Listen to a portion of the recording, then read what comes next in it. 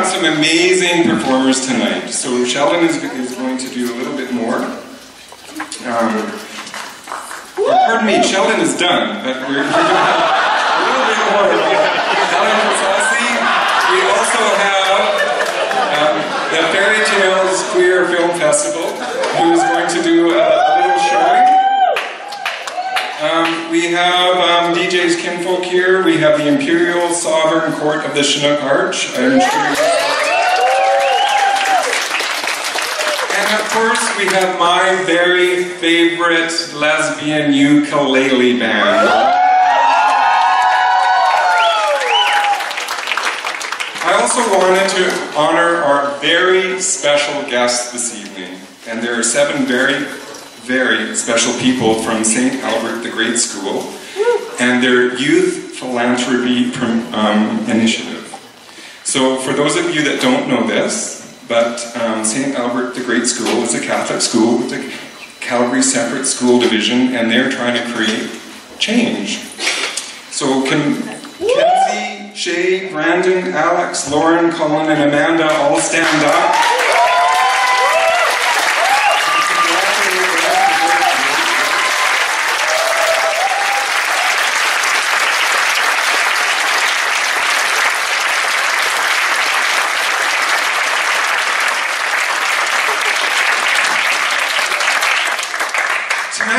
Celebrating the amazing work that we all do in the community. Because what we're all trying to do is to create a place where it's better to live for all of us. It's a really simple thing, but it's extremely hard work, and you all know that. That's why we put this together. And when people asked us, what should Outlink be doing?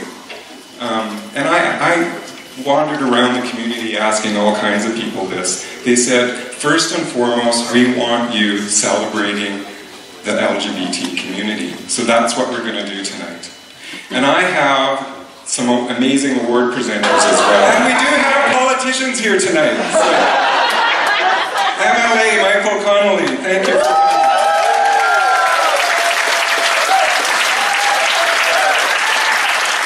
We have um, the chair of the um, Calgary Board of Education, Joy Bowen-Eyre here.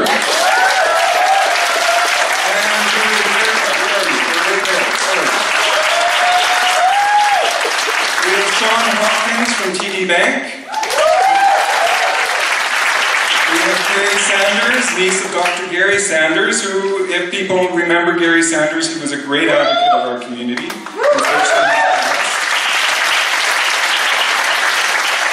And we have volunteers from Calgary Outlink who are in our uh, Maya LGBT New Canadians project. One of them helped put it together, Sid Ahuja, and we have um, Zara Mada.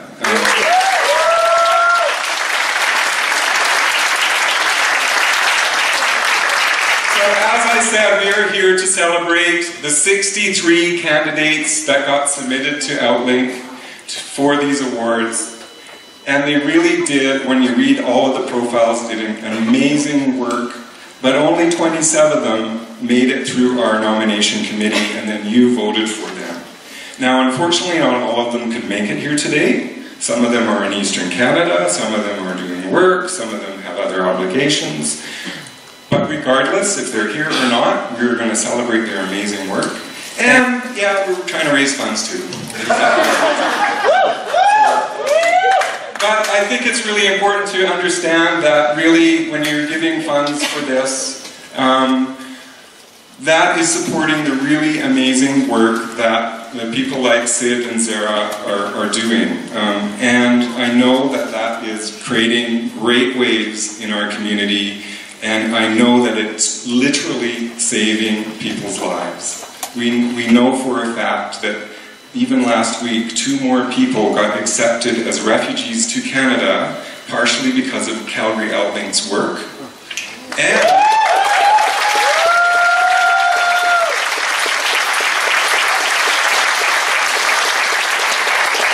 we know that if they were sent back to their countries of origin, that there was death squads waiting for them. So this is not trivial stuff. That is what this money is going to support, is programs just like that, and all of our other programs, like putting together a seniors project, all of our support groups. And you'll see more and more and more and more as,